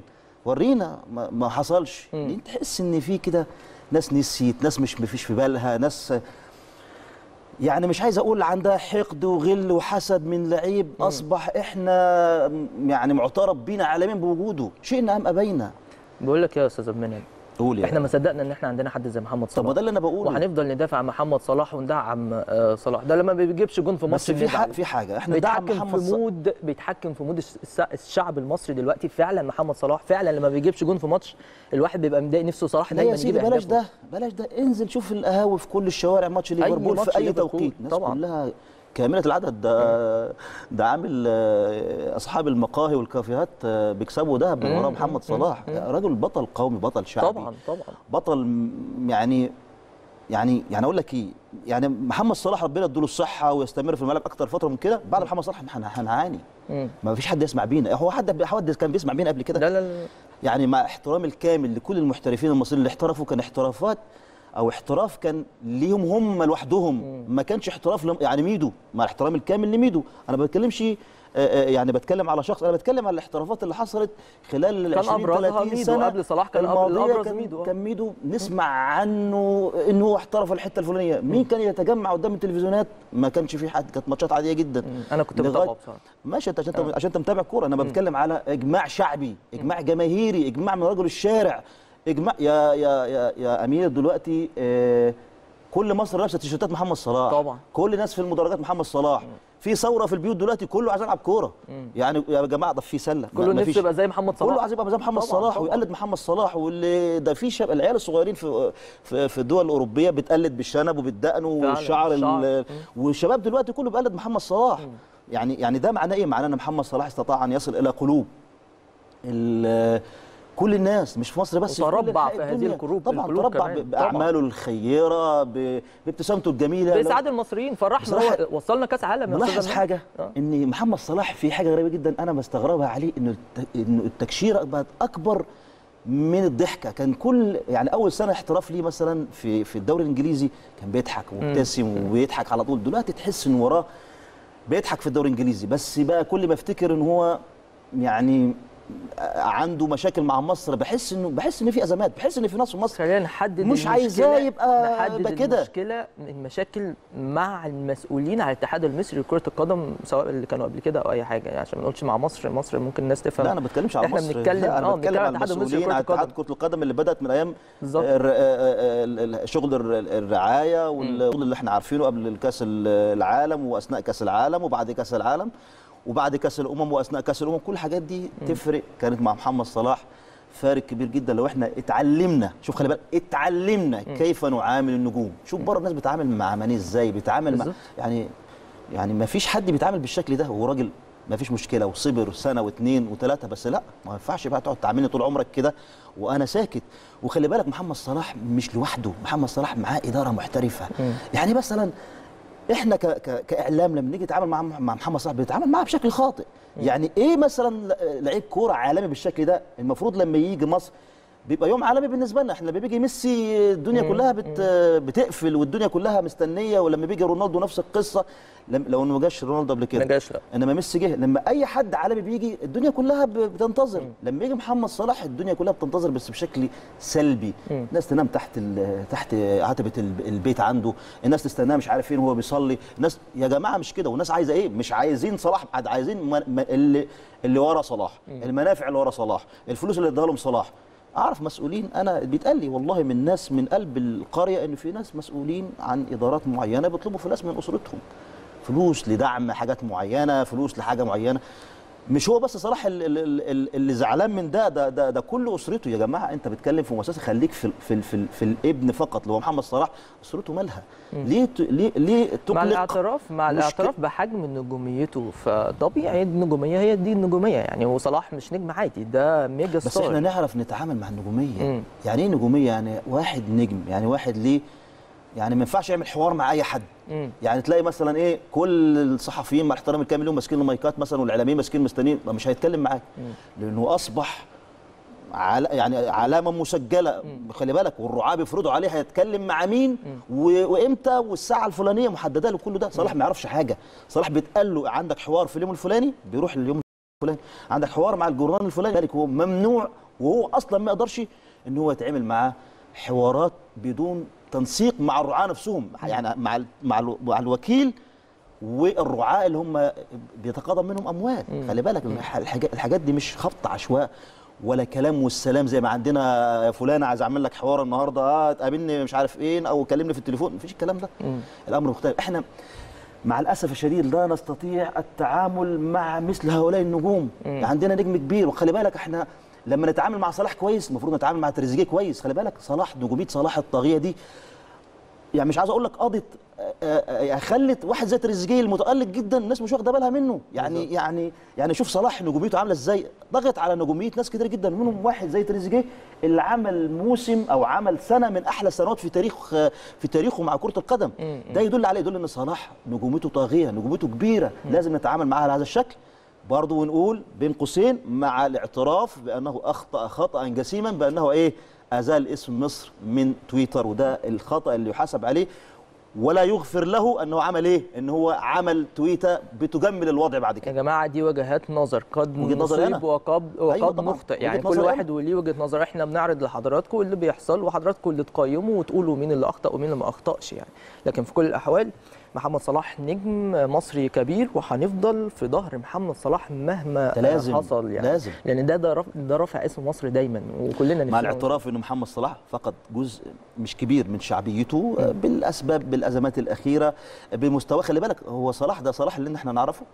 ده صلاح بتاع ليفربول في أول موسم؟ لا مش صلاح. ده صلاح اللي ساهم مساهمة كبيرة جدا في صعود مصر كأس العالم والهدف اللي إحنا بنشوفه كنا شايفينه آه، آه. شايفينه دلوقتي. هو ده محمد صلاح؟ مع الاعتراف الكامل بده. وخلي بالك يعني أنت شا يعني يعني أنا أنا بحس إن محمد صلاح في حاجات نفسية فارقه معاه أو ممكن يكون الإصابة. مش بعرف يعني هو ممكن الإصابة اللي في الكتف دي تكمل. سنة وش... لا والله في ناس في تقارير جت إنه الإصابة لسه برضه. ملمسة معاه آه والله أنا قريت أكتر من تقرير من أكتر من جورنال أجنبي بيتكلم في القصة دي كلها. لأنه برضه خلي بالك يعني معقولة محمد صلاح من ساعة الإصابة دي مش هو برضه محمد صلاح؟ يعني الموسم الماضي ما كانش محمد صلاح اللي هنعرفه محمد صلاح اللي إحنا نعرفه وحبينا محمد صلاح وخلانا يعني كلنا بنلتف حول في الموسم الأولاني في الدوري الإنجليزي اللي عمل فيه كل الأرقام القياسية اللي عمل فيه كل ال- الموسم الخرافي والأسطوري اللي نتمنى يتكرر مرة ثانية محمد صلاح هيكرر هيكرر بإذن الله بإذن الله هيكرر أتمنى و- وكلنا بنساعد محمد صلاح. خلي بالك محمد صلاح أنا يعني يمكن ليا علاقة خاصة معاه آه، آه، يعني من من من- سنين من حوالي 8 9 سنين. أحكي لك حاجة بسيطة كده. اتفضل. كنت آه، الكابتن ضياء السيد كان مدير فني منتخب الشباب قال لي تعالى اتفرج على منتخب مصر الشباب هفرجك على منتخب مختلف تماما. رحت والله كنت الصحفي الوحيد الموجود وكنت قاعد حتى آه، في آه، مباراة كان في ملعب المقاولين. اتفرجت على محمد صلاح المباراه كانت بين مصر والكاميرون. النتيجة دي 2-1 كانت مصر خسرانة 1-0 محمد صلاح جاب جون عالمي. جون عالمي من نص الملعب آه، آه، lob كده في الحارس. بعد الم- بعد الماتش ما خلص 2-1 لمنتخب مصر ده الكابتن ده السيد قال لي شفت اللاعب ده؟ سلمت عليه. قال لي ده نجم مصر في في السنوات المقبلة. الجون اللي جابه ده خلاني لغاية دلوقتي محفور في ذاكرتي ولما كبر بقى محمد صلاح سبحان الله من, من يشاء السميع العليم إن أنا أكون معاه في كل سفريات المنتخبات كنت أنا معاه. منتخب أولمبي معاه منتخب شباب معاه منتخب الكبير معاه. فسبحان الله حصل هارموني ما بينه وبينه اكتشفت إن هو إنسان محترم. فعلا قمة في الذوق بالأدب والأخلاق والاحترام والاحترام وكل حاجة في الحياة. كل حاجة بأمانة. يعني ومن من من من الحاجات اللي محفورة في ذهني وأنا كنت بعمل معاه لقاء هرم, الرياضي قبل بقى النجومية بقى وال- والشهرة الطاغية دي فبيقول لي أنا يا برشلونة يا ريال مدريد يا باريس سان جيرمان. واحد من الثلاثه و... و... وأنا لن أتنازل عن ده. قلت يا كابتن ده إحنا كل اللي بيسافر بيرجع بعد شهرين في نفس الطيب. بقى حاجز عودة. قال لي أنا ما ينفعش إن أنا أروح وأرجع مرة تانية وهتشوف إن شاء الله. وافتكر الكلام ده كنا بنتكلم في البلكونة. آه، آه، شوف هيحصل إيه بعد كده وأحكم بعد كده. ربنا سبحان الله رب ربنا يقويه ويديله الصحة. يوفقه. و... ولما يزعل حقه إن هو يزعل لكن دايما بيبقى فيه آه، أمور يجب أن يتم مناقشتها. لكن دايما هنفضل ورا محمد صلاح. نقفل بقى الملف ده. يقفله نتكلم بقى على ملف مهم جدا وهو النادي الأهلي وانطلاقة مستر فايلر مع النادي الأهلي. كيف تقيم هذه الانطلاقة حتى الآن؟ كيف يقيم هذا الانطلاق الانطلاق. الانطلاق آه. آه، أجل أجل. بص آه، فايلر أنا عاجبني. أو بصراحة style ه عاجبني. style مدرب شكله آه. آه، شكله كده مدرب آه، رزين وشكله مدرب عاقل. وهو بيلبس النضارة بحس إنه راجل إيه فيلسوف كده بيفكر أنا مش هشكر فيه عشان ما حدش بيقول لك أنت في قناة النادي الأهلي بتشكر فيه. أنا بتكلم في الانطباعات اللي بالنسبة لي. انطباعات عن فايلر مدرب كويس. حتى يعني كذا حد يقول يا رب ده كان ممثل قبل كده ولا اشتغل في التمثيل. شكله ممثل يعني. آه. آه راجل الدنيا ماشية معاه. ماشية حلو جدا معاه. ويبدو إن هو رجل طيب ورجل خير. آه، فانطلاقة خارجية ممتازة. الماتش الإفريقي كان سبورت. ثم الزمالك يكسب. الزمالك يكسب ماتش مهم جدا قدام سموحة. هيلاعب مباراة كسبانه 2-0 بره إن شاء الله يعني يكسب طبعا بس منتخب مصر عنده ماتش الإنتاج يعني أهو شوية. لا الدنيا بتنطلق معاه. وده يحسسك إن إن مشواره مع النادي الأهلي آه، هيكون مشوار جيد. لأنه هو مدير فني بيفكر. يعني إيه بيفكر؟ لما تيجي تلاقي أول مباراة مين اللي جاب الهدفين؟ صلاح محسن ووليد سليمان. دول كانوا دكة. كانوا دكة وما لعبوش ماتش ما لعبوش. يعني معنى ذلك إن هو فكر ثم فكر ثم فكر وأشرك الاثنين والاثنين جابوا له إيه؟ الهدفين المباراة الثانية كان صلاح محسن وكان وليد سليمان بره إيه؟ بره مش مش مش بيلعبوا في المباراة. ويتفاجئ بلاعيبه تانيين خالص اجاييه ده أنا مستحيل. يعني كل الناس اللي شافت التشكيل محدش توقع. اجاييه الاهلي هيخسر ثلاثة الاهلي مش هيلعب. الاهلي مش هيقدم بالشكل المناسب.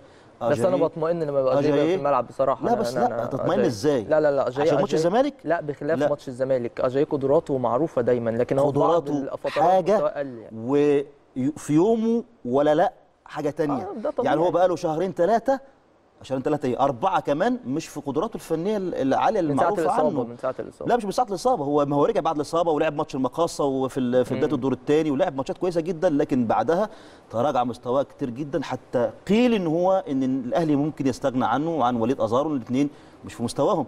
بس المباراة دي المباراة اللي فاتت دي المفاجأة بتاعت فايلر وإشراكه من البداية والمهاجم الوهمي وال, وال... خلي بالك آه، آه، فايلر وميتشو الاثنين حبوا يتذاكوا على بعض الاثنين كل واحد فيهم عمل نفسه ذكي على الثاني فطلع لنا التشكيل ده اللي هو كل واحد فيهم عايز يثبت للتاني إن هو أذكى من التاني. مم. طب مين اللي تفوق في النهاية؟ تفوق فايلر. فايلر كسب ب 3 2 مع مع طبعا مع انتقادي ليه في مش انتقادي ليه بصفة شخصية هو كمدير فني ولكن كالظروف اللي حصلت والإصابات اللي حصلت عندك قلبين دفاع مش كانوا ما كانوش موجودين. بتبقى حاجات غصب خارجة عن الإرادة لكن يعني طبيعي نقول. نقول آه. نقول إن هو عامل تدوير بشكل كويس. بمعنى إن زي ما قلت لك في الماتش الأولاني آه، صلاح محسن ووليد سليمان ما لعبوش ماتش الزمالك. والماتش اللي بعدهم برضه ما لعبوش ما أحمد فتحي خرج يعني يعني عمال يدور في اللعيبة. ليه بيدور في اللعيبة؟ يقول لك لا ثبات التشكيل. طب ثبات التشكيل للمدير الفني المفروض إن هو يكون عارف كل الإمكانيات. أنت لسه جاي بقالك دي الماتش الرابع اللي جاي ده مش كده؟ آه بالظبط. طيب هي هي هيثبت تشكيل إيه؟ ده بالعكس طب ما هو ممكن يكون نقطة حلوة جدا بالنسبة لهم مدير فني ذكي إن هو بيحاول يعمل غيرة بين اللاعبين بينهم وبين. بعض. يعني بيحاول إن اللعيبة دي إيه؟ تعرف آه، إن إن مفيش مكان مضمون. المكان ده المكان الأفضل المكان اللي قدم مباريات آسف تدريبات جيدة واللي أنا بسمعه وبشوفه و... واللي بيتقال لي ان تدريبات الراجل ده حاجة مختلفة خالص. كمدير فني وكبدني وك وكحراس. مم. بغض النظر عن خطأ محمد عبد ال- محمد الشناوي مباراة الزمالك. لا محمد الشناوي عنده ال reaction زاد جد زاد زاد بصفة بصفة كبيرة. ماتش الزمالك حصل. بس هو ما اختبرش كتير في هذه المباراة يعني. لا هي بس في وماتش. سموحة. لا ده ماتش سموحة. في كان في رد فعل سريع جدا في الكوره بتاعت سموحة هو محمد الشناوي مشهور بده بس آه. تحس إنها زايدة شوية. يعني تحس ان لسه طبعا مش عايزين نحكم مش عايزين مش عشان عشان ما حدش يقول لك إحنا بننفخ في المدير لا الفني. لسه لسه إحنا. مش بننفخ في المدير الفني. إحنا بنقول اللي حاصل مع المدير الفني الآن. هنروح لفاصل سريع. بعد الفاصل نستفيض بشكل أكبر في الحديث عن مستر فايلر والنادي الأهلي وكمان بعض الجوانب الخاصة بمنتخبنا الوطني الأول. استنونا بعد الفاصل.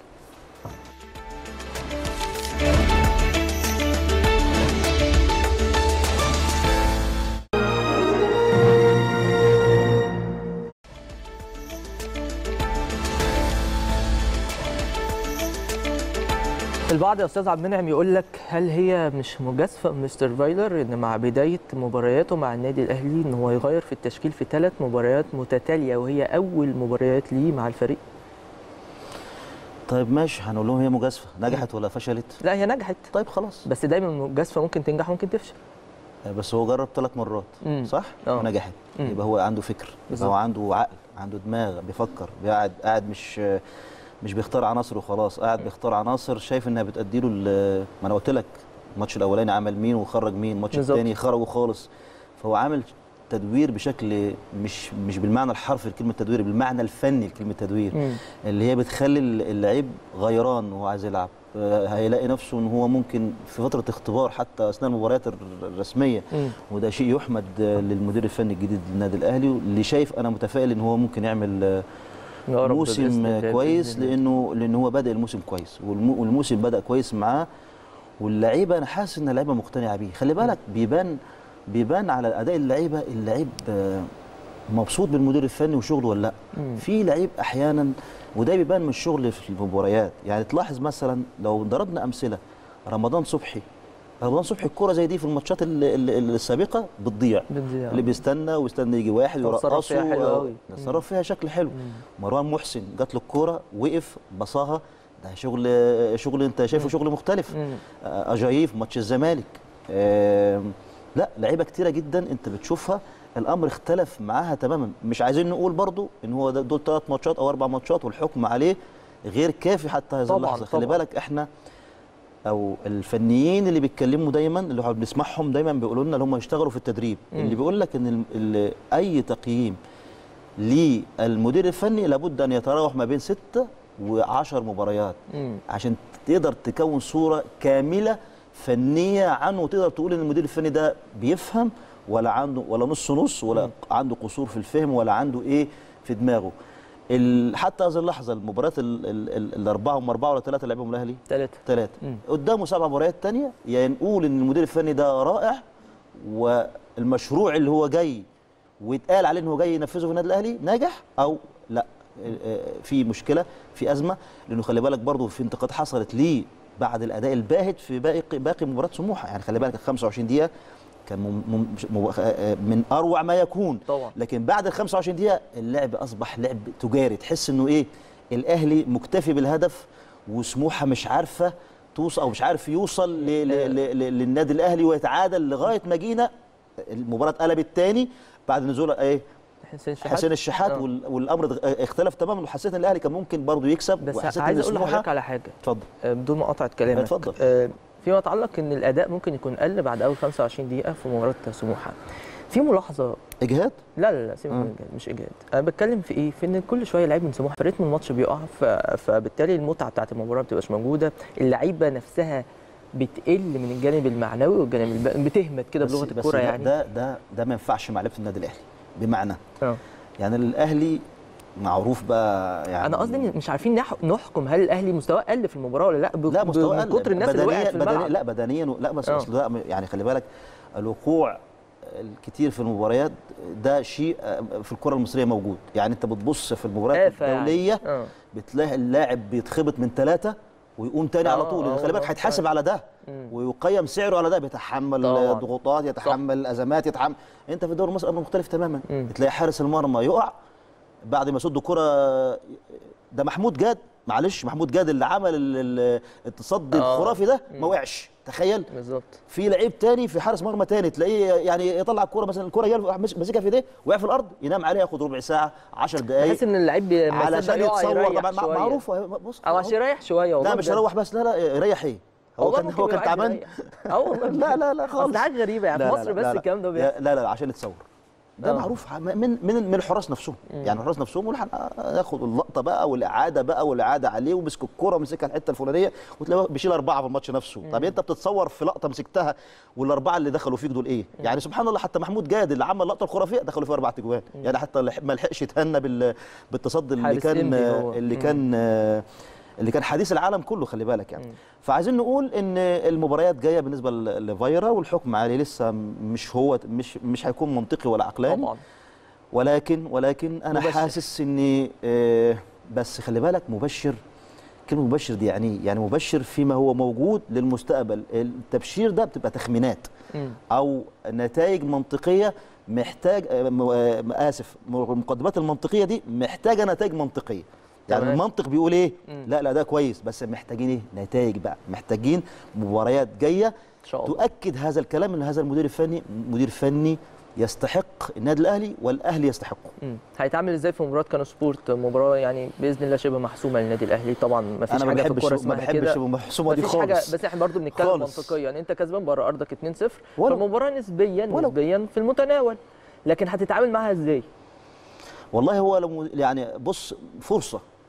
فرصة. حاجات كتير كويس يلعب باكبر عدد من اللاعبين اللي هم طبعا مقيدين اللي هم ليهم حسابات بالنسبة له بس بما لا يخل خلي بالك بما لا يخل بجسم الفريق بما لا. يخل الهارمون الفريق يختل تماما يعني عندك تدوير. مثلا في ثلاث أربع لعيبة لأن خلي بالك لا تأمن إن ممكن الخلل نفسه خلي بالك اللي أنا أعرفه أو اللي أنا يعني خبراتي اللي أنا أعرفها إن ثلاث لعيبة في تشكيل واحد بي- بيأثر على الفريق. ثلاث لعيبة بيأثر على الفريق فالأهلي المفروض يعمل السلاح اللي ذو حدين هو يعمل ثلاث لعيبة ويطمئن للنتيجة الأولانية فبالتالي يستطيع خلال هذه المباراة ان يكسب كمان ثلاث لعيبة موجودين. يعني إصابة مروان محسن ممكن تدخل وليد ازارو لو خف شوية ممكن يلعب.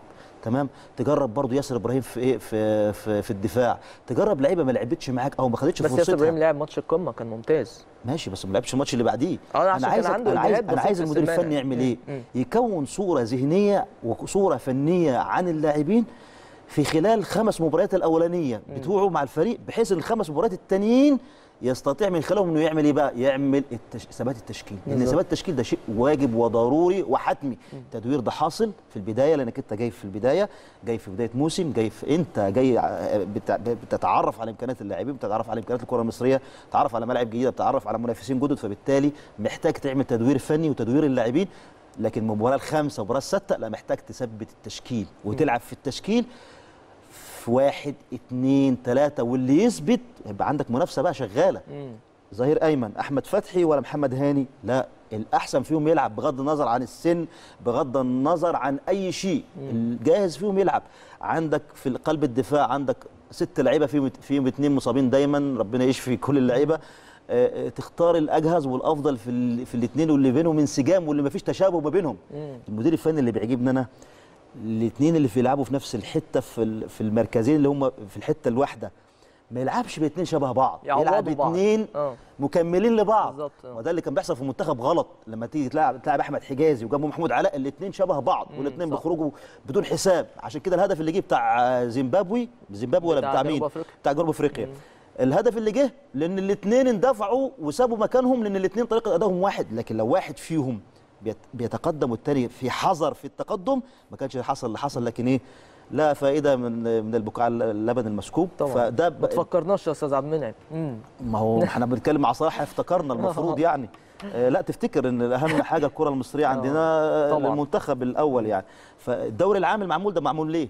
عشان ما هو لما تألق لعيبة الأهلي هيكونوا نوال المنتخب اللي هو هيتكون في المباريات اللي جاية. خلي بالك ما إحنا داخلين برضو هت- هنتكلم في منتخب دلوقتي. آه المنتخب هيكون نواته مين؟ أهلي زمالك بيراميدز كل اللعيبة اللي بتطلع والمفروض بقى كل اللعيبة تاخد فرصة وفرصة كبيرة إنك أنت يعني آه الدوري بادئ بشكل يعني شايفه شكل جيد يعني الدوري لو حبينا نتكلم فيه سريعا الدوري بدأ بشكل جيد 19 هدف تسع مباريات يعني آه، فنيا نسبة كويسة إنما. فنيا لا فنيا مش؟ مش مش. مستقر الأمور مش مستقرة الفريق اللي شفناه المباراة الحلوة كلها على بعضها ماتش بيراميدز وإنبي ده المباراة آه، كانت 4-0. كويسة جدا.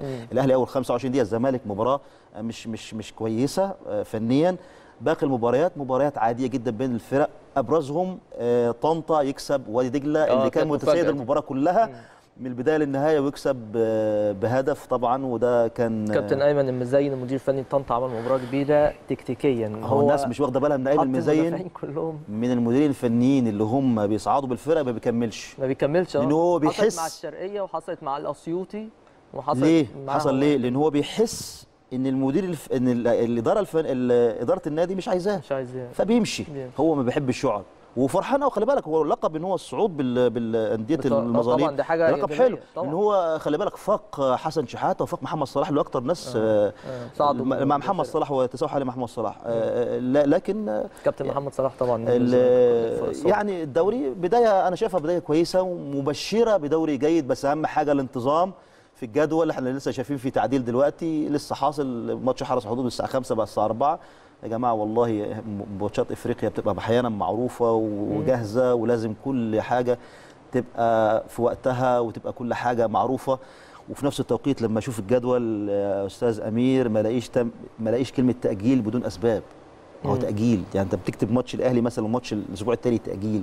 ما في ناس ما تعرفش تأجيل ليه. يعني انت أنت باعت لي الجدول بس تأجيل. تأجيل بتاع إيه؟ لا بس في حاجات هم موضحينها بصراحة. لما قال لك إن التأجيلات هتبقى بخصوص الماتشات الأفريقية لما يتم تحديد أنت مش. واخد بالك. آه. تأجيل بسبب مثلا مشاركه يكتبوا النادي يعني، آه. أيوه ما هو في واحد ما يعرفش. أنا لا متأجل ليه؟ آه، ما هو ما نعرفش بقى إحنا عايشين بصراحة على المزاج. يعني السنة اللي فاتت كان تأجيل بسبب كذا كذا وبسبب المزاج وبسبب الطلبات وبسبب حاجات كتير. لا الم- المفروض بقى إحنا موسم جديد يبقى كل واحد بقى إيه في مكانه وعارف دوره كويس. أنا رئيس نادي يبقى مهمتي الأساسية توفير الأجواء المناسبة للفريق الأول والجهاز الفني. ماليش دعوة بقى بالأمور الإدارية إلا لو في خلل بيصبوا في- ضدي. فاهمني؟ يبقى خلي كل واحد يشتغل في مكانه عشان خاطر يبقى دوري كويس. ما يبقاش دوري بقى بالمصالح ودوري بقى كل واحد بيتكلم. بيحاول ياخد مكاسب على حساب التاني إن في النهاية إحنا بنخسر. وشفنا موسم سيء السنة اللي فاتت موسم فنيا ليس أنا شايف إن موسم للنسيان أنا شايف إن موسم للنسيان إنها لم تقدم لم تفرز لاعب ح- طب إيه أنت أنت أده بقى لنا سنة ونص بنتكلم في الموسم اللي فات اللي هو اللي هو بدأ في في يوليو وانتهى في أغسطس. إيه اللاعب بقى اللي إحنا شفناه بقى ال- ال- ال- الفلتة اللي أصبح نجم المنتخب مصر بالموسم ده؟ مفيش. هو دونجا ودونجا أصلا النني ظلمه وما بيلعبش. طب طب موسم كامل والخناقات دي كلها والمشاكل دي كلها لا تظهر أي لاعب آه، دولي. بسبب سوء التنظيم الموسم ده في الحقيقة. يعني في كل الأحوال إن شاء الله يتداركوا كل هذه الأمور وبإذن الله يكون كل التوفيق حليف الاتحاد المصري لكرة القدم في إدارة المسابقة المسابقات المحلية بشكل آه، عام وكمان فيما يتعلق بمنتخب مصر. وده اللي هنتكلم عليه دلوقتي يا أستاذ عبد المنعم. كابتن حسام البدري المدير الفني لمنتخب مصر. الإعلان عن تشكيل المعاون أو تشكيل الجهاز المعاون هيكون النهارده وبكرة هيبقى في مؤتمر آه، صحفي. طبقا آه طبقا لل- للأسماء اللي تم الإعلان عنها ومن اللي عرفناه يعني. كابتن محمد بركات مدير المنتخب. كابتن سيد معوض كابتن أحمد أيوب وكابتن طارق مصطفى. وأيضا كابتن أيمن طاهر. نظمهم بقى عشان ما تزعلش الناس. لا ما هم كده كده. طارق مصطفى رقم واحد. بعد لا، مين؟ خلي بالك. بعد مين؟ لا مش بعد حد هم قايلين لحد طارق اللحظة مصطفى دي. مدرب عام. طارق مصطفى. مدرب عام. ط- ثم- طارق, طارق مصطفى واحمد أيوب. أيوب. لا طارق مصطفى واحمد أيوب. اثنين مدربين. المدربين مدربين؟ المس... آه الاثنين مدربين. مدربين عامين؟ ما لا فيش مش مد- مش مدرب عام؟ عامين ولا مش عامين. طب ده إذا كانت عرفت مرتباتهم. وبعديهم- والفرق آه. بين ده وده آه، 100000 جنيه. أو آه، 100000 جنيه 1000 لا 10000 جنيه. 110000 ما ما لا، الحساب مش كل مرة كل مرة بقى بنقعد نغلط في الحساب. المرة فاتت في الدولار المرة دي بالجنيه. يبقى العيب فينا إحنا بقى. فلا بتشوف إزاي الجهاز الفني ده؟ لا أنا ما بشوفهوش بصراحة. أنا لغاية دلوقتي ما شفتهوش لأني آه، هو طبعا هو لسه حسيت إن. أنا لا خلي بالك إحنا اتخدرنا. آه صح؟ آه. اتخدرنا رحنا في اتجاه. آه ما هو ده بقى شغلي بقى إيه؟ أنا سألت محلل نفسي على فكرة. والله حلو. العظيم بتكلم بجد. آه. سألت صديق شخصي قلت له بقول لك إيه؟ هو اللي حصل ده طبيعي؟ قال لي بص إحنا اتخدرنا بقول له إزاي؟ قال لي اتخدرنا إن إحنا قدموا لنا واحد والتاني والتاني مش هينفع والتالت مش عارف إيه والتالت هيعمل لنا خناقات والتالت هيعمل لنا مش عارف إيه والرابع مش عارف عايز متمسك بالجهاز الفني. طيب تمام. كل دول أصلا آه، في أزمات عليهم وفي مشكلات عليهم وفي أزمات فنية وأزمات إدارية وأزمات مش عارف إيه وإيه وإيه وإيه. فأنت راح مقدم لك واحد قال لك خلاص سيبك من كل دول. هذا الشخص مديرا فنيا لمنتخب مصر. بس- مش هتقدر تتكلم عنه خالص خلي بالك لأنه أصلا أنت ما انتقدتوش ولا اتكلمت بس عنه. بس الشخص ده كان آه، مطروح يعني على الساحة. الناس كانت عارفة إن هو من ضمن ما هو المرشحين مطروح وهو خمسة مطروحين. بس لو طرح اسمه بقوة كنت اتكلمت في عنه. بداية الأمر تم طرح اسمه بقوة. عشان كان قوة. سويلم. آه ماشي كان بعد بيساند كده ابتعد الكابتن حسام البدري شوية لما ابتعد آه كل الأ... ما هو انت لم... دلوقتي لما بتتكلم في إيهاب جلال مش كان إيهاب جلال آه، آه. ومين حسام وحسام حسن. حسن.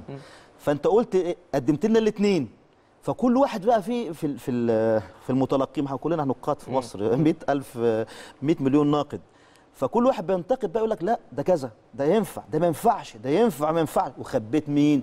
خبيت اللي انت هتجيبه. أو الظروف ساعدتك إن ده مش ان إن ايهاب جلال لا يوافق لأنه متمسك بمين.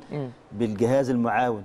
وحسام حسن عشان خاطر ما لقاش المساندة الكاملة عشان خاطر مش عارف إيه وإيه برغم إن هو كان أحد المرشحين الأساسيين بالنسبة للجنة الفنية وتحديدا الأستاذ عمرو الجنايني. مم. طيب أنت قدمت لنا واحد ما كنتش طرحه أصلا فبالتالي الانتقادات عليه كانت قليلة جدا. مم. فالانتقادات القليلة اللي عليه ديت خليته هو يخش بقى في السوق. خلاص أنتوا مش عايزين ده؟ شكرا مع السلامة. خليكم على جنب. ونجيب لكم واحد مدير فني. وتم تعيينه واختياره. بالونه الاختبار بتاعت حسام البدري ما كانتش بالصورة الكاملة بالنسبة للجماهير. لأنه لو طرح اسمه مع الثلاثه كان اترفض. أنا بقول على مسؤوليتي الشخصية. كان اترفض لأسباب أو لأخرى. لأسباب كتيرة جدا. واسباب معلومة وغير معلومة واسباب حاجات أنا أنا عن نفسي آه، يعني مش عايز أقول لحضرتك أنا من من من الحاجات اللي بعملها إن أنا بقيس رايي العام بتكلم مع ناس واحد اثنين ثلاثة أربعة لأ. أقول لك على حاجة كان أكتر واحد عليه إجماع حسن شحاتة. هو أكتر واحد اجماع بس في- برغم إيه بقى؟ السلبيات اللي موجودة في طيب، حسن شحاتة من السن والعمر ومش عارف إيه والكلام ده. خليني أتكلم بعد إذنك يا أستاذ منعم فيما بعد الإعلان عن تولي الكابتن حسام البدري تم ما هو تعيين الكابتن حسام ما البدري. بتتكلم على على ما بعد تتكلم على ما قبل. لأنه خلي بالك أنت هتصادف آه، أقول أزمات؟ لا إن شاء الله ما يبقاش فيه أزمات ولا حاجة. طيب بص ماشي مفيش مشاكل. حسام البدري آه، امامه مهمة ثقيلة. مهمة إيه؟ مهمة استعادة زمام الأمور كويس. بالنسبة لمنتخب كويس. مصر. كويس. إيه زمام الأمور؟ إنك أنت يعني حتى من شروط التعاقد معاه إن هو يصعدنا كأس أمم وصعدنا كأس عالم. غير كده يعني أي واحدة فيهم اللي أنا عرفته اللي أنا قريته لسه طبعا ما تمش الإعلان ده مع شكرا دي شروط أساسية، ده التعاقد لا لا لا ده ده شروط المفروض تكون أساسية. آه، مش دي مش شروط مفيش بالحب. بقى وال, آه، وال وأنا بحبك وأنا وأنا بريدك والكلام ده. لا شروط لأن أنت حضرتك جاي لي لمنتخب مصر وتتقاضى أجر عشان خاطر مين؟ عشان خاطر تعمل لي واحد اثنين ثلاثة أربعة مش تاخد فلوس وتقعد لا أنا عايزك تعمل إيه؟ تبقى رقم واحد كأس أمم وتاخد كأس أمم. آه إن شاء الله. مش كمان ترق... آه، لا ده أنت تنافس على كأس الأمم. مش عايز ده مركز. رابع ولا مركز عاشر. وتصعدني كاس عالم وكمان إيه ده مش كاس عالم بس ولا تمثيل مشرف لا عايزين نعمل زي ما الناس بتعمل في كاس العالم. آه. كفاية تمثيل مشرف كفاية مركز ثالث كفاية مركز آه، ده أنت إيه؟ داخل ثالث في المجموعة أو رابع في المجموعة. آه رابع. رابع في المجموعة. ما أنا قلت لك مالهاش دعوة ما- سيبك من الحساب بالنسبة لي. الأرقام عندي مشكلة. آه. فلو آه، كمان إن أنت طلعت المركز ال- إحنا كنا كام؟ كنا قبل الأخير. 24 قبل الأخير. طب ده أنت داخل على على كاس العالم اللي جاي ده كام؟ 31 32 يبقى 31 إحنا تمام؟ فأنت داخل على كأس العالم الجاي هيبقى 45 دولة ولا مش دولة؟ 42 قال ولا كام طب يبقى ح- يبقى, يبقى لا موقفنا صعب بصراحة. عايزين بقى إيه؟ يعني اختلاف عايزين مستوى إن شاء الله مختلف. مع الكابتن حسام البدري بإذن الله نتمنى له كل التوفيق إن شاء الله. أنا عارف أنت. في حاجات كتير عايز تتكلم فيها في مخصوص موضوع كابتن حسام بدري بس الكابتن حسام البدري شخصية قوية مدرب عنده انجازات على فكرة بس أنا أنت دايما بتحب تفصل ما بين ال- الشغل طبعاً. وبين الشخصية. أنا اتكلمت في حاجة في شخصيته؟ لا أنا بتكلم أنا بتكلم حتى بتكلم عنه أنا بتكلم بتكلم على إدارة القوية. بتكلم على إدارة وطريقه أنا اختيار أنا مش عاجبني طريقه الاختيار. بس الشخصيه الشخصيه عاجبك طريقه الاختيار؟ بتاعت المدرب؟ آه. ما هو بصراحة بلاش ما تاخدش رأيي أنا طيب أنا بقول على الهوا؟ مش عاجباني. يعني لو حد سامعني من اتحاد كرة إحنا القدم؟ بنتكلم على طريقة آه، اختيار طريقة الاختيار مش لكن عجباني في كل الأحوال مين ما اللي- تم اختياره ما تخدرنيش. ماشي مين اللي تم اختياره وما تم اختيار حسام البدري؟ أنا معاه قلبا وقالبا طالما. سيحقق طموحات وآمال الكرة المصرية بس كده كلنا مع الكابتن حسام البدري بالطبع وبكل تأكيد هنفضل ندعمه ونسنده لأن هو بيمثل أو هو اللي بيقود منتخب مصر الأول ونفسنا بإذن الله إن هو يعود بإنجازات المنتخب المصري وهو قادر على كده وأنا كنت بتكلم مع حضرتك بخصوص الشخصية عنده الشخصيه لا اللي شخصية تساعده. لا ما أقولكش ده الشخ- شخصيه بسم الله ما شاء الله آه، يعني شخصية قوية جامدة جدا بس الم- نتمنى محتاجين كده. نتمنى نتمنى آخر كلام هقوله إن الشخصية بتاعت المنتخب الأولمبي تختلف عن تختلف. عن الأندية. آه. أنت لما تتعامل مع مع أندية غير ما تختلف مع نجوم. أنت بتتكلم هو في اتعلم من تجربة بتتكلم في محمد صلاح. بتتكلم مع تريزيجيه مع نجوم عالميين بيشرفونا في كل حتة في العالم. طبعا. ما ينفعش بقى ونبطل التكشيرة شوية نفكها شوية يعني. ربنا يخليك. جزء من الشخصية. كابتن حسام البدري. أنا أقول لك معلومة. قول. أول لعيب هيبقى موجود في قائمة منتخب مصر مين؟ تتوقع مين؟ حد مكشر. لا لا لا. مين؟ بجد بجد. تتوقع مين؟ ندفد؟ لا. أمال مين؟ عمرو السوليه طيب ماشي. لأن لا بس أتوقع أنا. أنا مستني كريم ندفد بصراحة. كريم نيدفيد على فكرة لو راح منتخب مصر والله. العظيم يستاهل. لعيب جامد والله جدا. يستاهل. ربنا رب أنا بقول لك أنا بقول بس. لأن هو أصلا معروف إن كريم ندفد آه، آه الكلام. يعني من ال من ال من اللعيبة اللي دايما لكن هو دايما. عمرو ولو حمودي بيلعب كان راح برضه منتخب. لا مش شرط عمرو السوليه في مرة كنا مسافرين بره مصر ماتش للأهلي. على ما أتذكر آه، كنت يعني مراسل القناة هناك مع منانا الجابوني في الجابون. فسألت الكابتن حسام بدري بقول له أهم لعيب عندك في النادي إيه مين يعني أهم لعيب في فريق النادي الأهلي قال لي عمرو السولية من غير ما يفكر فأنا عشان كده بتوقع عمرو السولية سواء حسام البدري أو غير حسام البدري عمرو السولية من أفضل لعيبة خط الوسط. حاليا في طبعاً. مصر ومش مش مش ده آه. بيصنع وبيلعب لا، لعيب جامد لا. لعيب جامد بصراحة فأول لعيب. هيتم اختياره عمرو السولية أنا بقول لحضراتكم من دلوقتي هنشوف طيب يا رب يكون الكابتن حسام ما يسمعكش ويعني خلي بالك ممكن. يعني.